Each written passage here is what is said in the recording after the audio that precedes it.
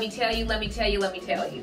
I got a treat. And I know y'all say, she say that every week. Yes, I say that every week, but I got a treat y'all because we're talking about 50 years of hip hop in Kansas City. Now, I don't know how old you are, but I know how old I am. And I know what hip hop was for me growing up right here in Kansas. I've got Shawn Edwards in the Gangsta Goodies Kitchen. He is back in the Gangsta Goodies Kitchen. And we have Don Juan. Y'all know him. You can't be a part of Kansas City hip hop and not know who he is, y'all. So y'all check this episode out. Yo, yo, yo, what up, what up? It's your boy Don Juan, and guess what? I'm excited to be in the building with the Gangsta Goodies podcast is going down. We're gonna be eating some great food, and guess what? We're gonna talk about 50 years of hip hop. I got Shawn Edwards in the building, we got Sheila Johnson in the building, and you know how we do it. So, yo, we're gonna be making a dope salad dressing. We're gonna be making some great food off the grill fresh, and we're gonna be talking about the 50 years of hip hop in Kansas City is going down. Don Juan in the building, Gangsta Goodies podcast. Yo. Hey, what's up, y'all? That's right. This is your boy Shawn Edwards, and I'm back in the kitchen. That's right, the Gangsta Goodies kitchen with my girl Sheila, and we're talking all things hip hop. That's right, 50 years of hip hop. But what did it really mean to Kansas City? That's what we're talking about as we cook up something yummy for y'all. We go in there, Tech N9ne, Soulway, Rich the Factor, Don Juan, Captain Von Zell, Mr. President, all those parties back at Lincoln High School. I was there. That's right, we're talking about it right here in the Gangsta Goodies kitchen.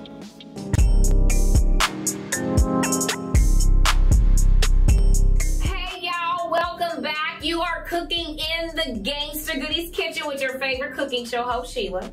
And today I have not one but two amazing guests. We're celebrating 50 years of hip hop in Kansas City with none other than That's Don Juan. What up, what up, what up? Yo, yo, we got Yes. none other. The hottest movie, film, director, hip hop, journalist, my, my, my mother, big brother. None others than the legendary himself. Y'all see him on Fox 4 with all the superstars, the A-listers. Yes. He's been putting me everywhere. So if y'all don't know, when y'all see me on the big media around here, this is the guy, Shawn Edwards. What's up? Back in the kitchen. Yeah. Welcome back. Welcome back, Uh, I haven't been here in a minute. It, it's been a minute. Been a minute. But, you Good. know, you've feels been- good. Feels right. Yes, back at home. This is my first time. It is. Well, No, well, you she invited me, but I told her I wanted to wait on something special. Oh, so this is the first time on the show show. Yeah, on the Yeah. show. Show show. All right. But you brought some. You brought somebody to the show several years back. And I, I And said, did- and I and I said, don't let it be known. Let me in the background, enjoy it, right? Yes. I wasn't in the, yes, be in the yes. background. So Always you've been here. Always You've, producing. you've been Uh, here, supporting. and And absolutely. you too. And then look, we have a long history of church. Yes. You know what I mean? Yes, and yes, our family knowing your connection. father and your family and Absolutely. everyone. So I've always been uh, gracious to be in your presence. So, and you guys supporting me means the world to me. Yeah, It- always. It really does. It really does. So I want you guys to take a quick look at the ingredients for today's recipe. Uh-oh, We're do it. making something very simple, very easy. It's light on the tummy, okay? Light on the figure, ladies. okay, because that's important, you know. And men. Uh, and men, Yeah. you know, it, it is Yeah. very important. And so we've got a piece of uh, sockeye salmon. Uh, we've got some uh, juice, some fresh uh, watermelon juice. I juice myself. Mm. Some olive oil, some balsamic vinegar, spicy mustard, uh, some what is that? Oh, garlic and some shallots. Mm. And we're gonna put it all in a mason jar, shake it up, and that is our dressing. Mm. And so when you make the dressing yourself, you know what's in it. no preservatives. There's not Ingredient control. exactly, No preservatives. exactly. We haven't added any sodium here.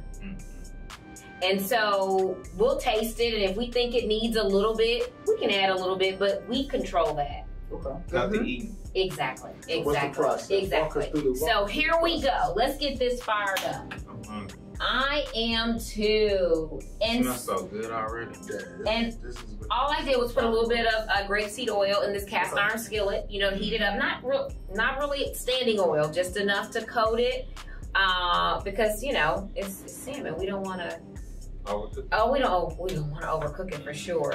So you guys today. How, how, how, how, how possible? Because sometimes I overcook something. What, what's the temperature and how fast should it be? Like medium temperature? What's what's the best way to prepare a, a great salmon like you about to prepare? So it really kind of depends on you how you like a salmon is like a steak. Yeah. You want a medium, you want a medium well, you want a medium rare. I mean, okay. Yes, and so I like mine more between medium and medium well, Mm, okay? And just a little bit over medium, not too much, okay? And so uh, when I do that, I cook it about three to five minutes on each side. Depends on how thick of a cut of fish that is. Oh, mm-hmm. okay. Mm-hmm. Absolutely. So we're gonna take. We took a little bit of Mike P's. Uh, only mm-hmm. me, y'all. Shout out to Mike P. Shout out to Mike P. Yes, Kansas City's barbecue sauces and rubs.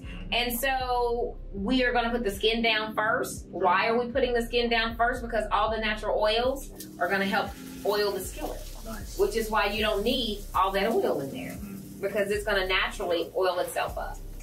Okay. And so as that's cooking, so which one of you gentlemen want to make the salad dressing? So I think you, I could do it. Just you- drop Okay. everything into the mason. Uh, um, okay, so yeah, Is we're there gonna. order, a specific We- order, or I just toss it in? yeah. It's not. it- I that would, matter sometimes? I would put the liquids in first. So so we do the liquids in. Uh huh. So that's olive oil. Of course it is. That's one third cup of olive oil. Okay. And then we got And then there we have the balsamic vinegar, balsamic vinegar. then when we go ahead and so not all of that. So why don't you pour some of that into there? So it's one third as well. Oh, okay. So, Uh huh. Kind of equal parts on the on the liquid. Sounds good. I'm gonna give you just a little more. A little more. Shake this up. I'm, I'm doing the guesstimation. shake it up, shake it up. Yeah. There we go. Yeah, man. There we go. That's There we go. perfect. Yes. that's beautiful food. Yes. Yes. You say you just set up yourself, huh? Yep. Fresh All right, I water. got this all Absolutely. in here now. And so then we're gonna put shallots. That's like a half of a shallot. So a shallot is oh there's a little Yeah, spoon got it. right there. What Yes. is the salad? It's from the onion or garlic. family? So it's a cross between. It's not as strong. It's really a young onion. Young Uh, it's not as money. strong. Yes. Yes, we got fresh garlic. money. Money. Yes. And then we got a little brown spicy mustard. Yes. Mustard. Right. Smell good. And then we have some fresh basil straight out of the gangster garden, y'all. Oh, that's from, that's from you. From the garden. From right out there, yes. Urban Garden, baby. You baby. got to teach me how to garden. We're gonna be needing the garden soon, Wilder. Absolutely. Yes. Put your fresh herbs in there. I know there's more gardens in the area, but gentrification's real. Yeah. Yeah. That's A lot more gardens and dog walking. Oh, uh, yes. Right, right. That's another show. Neighborhood. Good for the neighborhood. Good for everybody. I said, Yeah. they walking on 56 and juice. I said, man, then I said, nobody got mud. That's love. Okay, so we got that. Yeah, so we got that.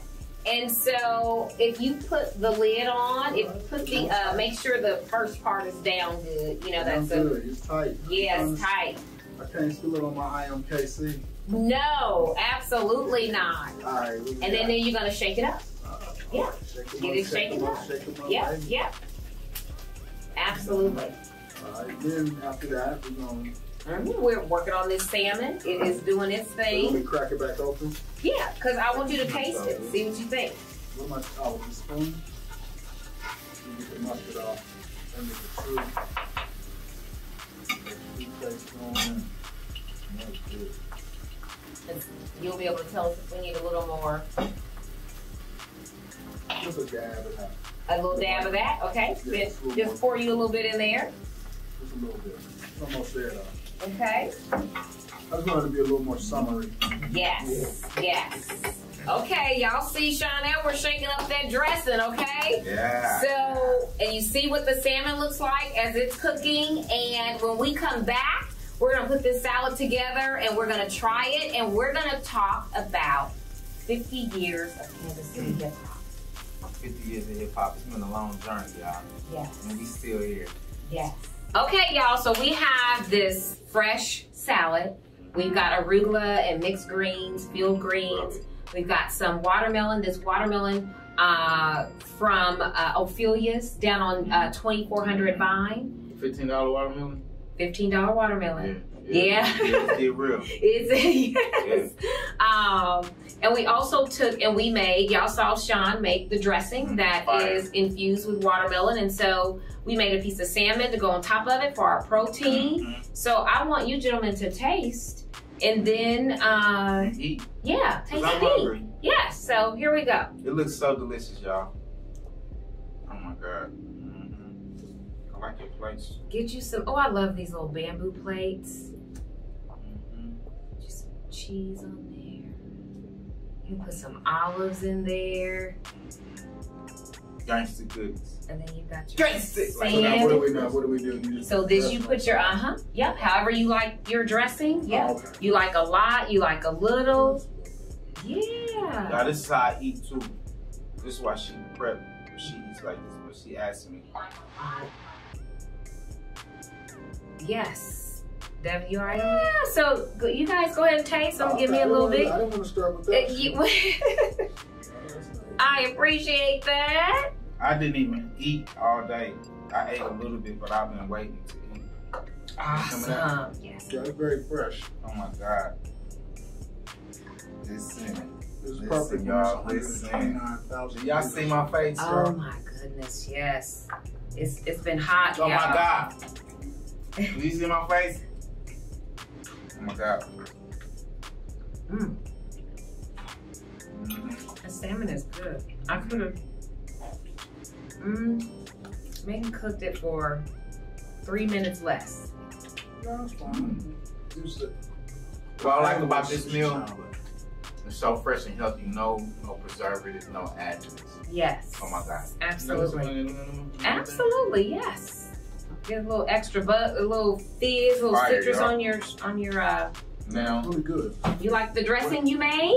The dressing's really good. So Shawn, do you want to give us like kind of an idea of what have you been doing to celebrate and bring uh you know light to because it's a big deal. 50 years of hip hop. Well, no, I mean, I've always been a big fan of hip hop. I've always loved the music. I've always loved every aspect of the culture, whether it was the rapping, the DJing, the graffiti, the dancing, the, the beatboxing. And so, you know, I started my career as a journalist, you know, covering hip hop. So I've written numerous stories locally on the hip hop scene, numerous stories on the local hip hop scene. But, you know, when the anniversary was approaching, I wanted to really like kind of like shine some light on how hip hop's impacted Kansas City because this is where I grew up. So I always knew that I was going to do this sort of like, you know, trilogy, so to speak. You know, Mhm. Since I work in movies, I think like movies. So Okay. I Yes. did like three major stories on, on hip hop. So I did the, you know, the impact that hip hop had on Hollywood. I did that story for Ebert.com.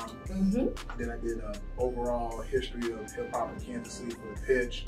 And then I got a third piece coming out in a couple of days on the connection of hip hop and the radio here in Kansas City. So Mm. I knew I wanted to do that from the beginning because I have been doing it, you know, for three decades now. So I was able to, you know, source through notes that I have from back in the day when I worked at the pitch Wow. and the Globe and you know some sort of places. Wow. You know, just use my platform to you know spread the word. And so coming up next, we're doing a hip hop film festival at the Screenland Armour. Okay. focus on three very impactful and pivotal hip hop movies that sort of like changed the direction mm-hmm. of how hip hop was represented in Hollywood. So I'm gonna, I'm gonna do that, and then we got a we got a 50th anniversary celebration concert that's gonna take place at the Gem. That's gonna feature all local artists. So just kind of like you know show some love to the the brunch. to the guys that have been doing it for 50 for 50 years, and then we're gonna have a brunch where uh, Jay McGee is gonna gonna do a hip hop brunch down in Society where Jay McGee is gonna do a presentation on the business of hip hop, which is really Mhm. important. Talk about the money and the financials, and then I'm gonna do a thing on um, you know hip hop's impact on, on Hollywood and just talk about the influences. And so you know, we just got a lot planned for the city. We're trying to you know show love. 50 years only comes around once. Only comes So around we want once. to make it. A, we want to really make it a big deal. Exactly. And Then, then let me not forget. Then after the big party at the concert, then that official after party Mm, is at So Right. okay. We got food, we got drink specials. And listen, this DJ that is none of DJ, this party. Okay. So this is the after the, Party. the August the 12th event. Yeah. After the okay. concert. After the concert. So what can people expect to see at the concert as far as local talent? Guess what I'm performing? That's what? what You getting on the stage? Yes. Don, how long has it been? Okay, okay, Three months ago. Okay. So what's happening? Y'all been I've been performing since I was a kid. Yes. Which you know, Yes, yes. church, music. So when I became doing hip hop, I was rapping, I was making beats, DJing, dancing. And then nobody knew the business. You know my grandma Casey, the teacher. Mm-hmm. Yes. She's like, she's big on education. She's like, why don't you go get the book and learn how the business go? Yes. So then I learned all these components. So I end up being the one to be like, okay, this is how publishing work. We got to sign up for ASCAP. We got to press up the music. Okay, this is how we got to do our CDs. Yes. But I was really just trying to be the rapper. Yeah. I love it. Then it's this girl named Angela Pearson. Her father, Walter Pearson, Oh, yeah. worked at the radio station. Okay, okay, okay. So what. Angela did for me and her father, she heard about this kid, 12 years old, doing music and hip hop. Mm. She told her father she used to have these big swimming parties at her aunt, all the kids. I'm talking about all these kids. She went to Race South. She was like this popular chick. I DJ'd her party. I was 13, Wow.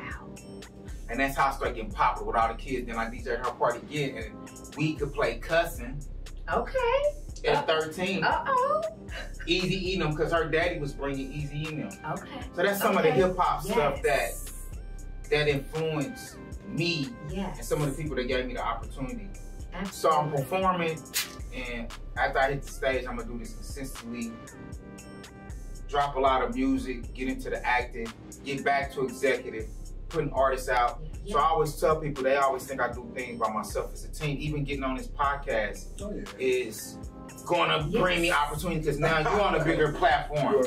So- show was killing it. 50 years of hip hop, she's gonna be in the building, and we're gonna continue the show because we really got a lot to talk about. Yes. I do want to use this platform Yes. to kind of talk about Kansas City hip hop. and- Absolutely. That's what we're Kansas City Hip Hop the food is. is. Uh, you know, it's Right. right here with us. You know, and absolutely. No, I get it. That's what a lot of people don't. A lot of people don't realize though. Like in the, in the, in the early days of hip hop, especially, you know, I can't speak for other cities, but I know like in Kansas City, like you know, the talent shows is where a lot of people got exposed. Yes.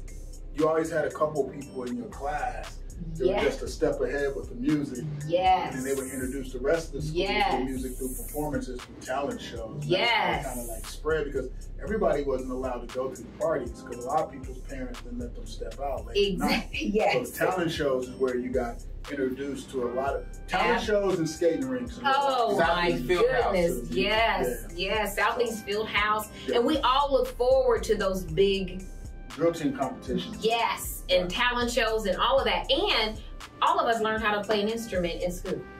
Well, not It's- all I did. You didn't learn how No, to. I, just, I did not. So what happened when you came to instrumental music? You talked your way out of it. I played the drum. I was not good at it, but I didn't. I didn't learn it. I was, I was on the other creative side. Okay, okay, okay. But you know, we all learned an instrument. We even though A lot of people did. No, no, Yeah. because, yeah, because like the marching bands would play like the popular songs Yes. of the day. So that was, Yes. that was another. That was another introduction. Oh, like you know, then you go to the, either the football or basketball game. There was always like one person would always have the boombox.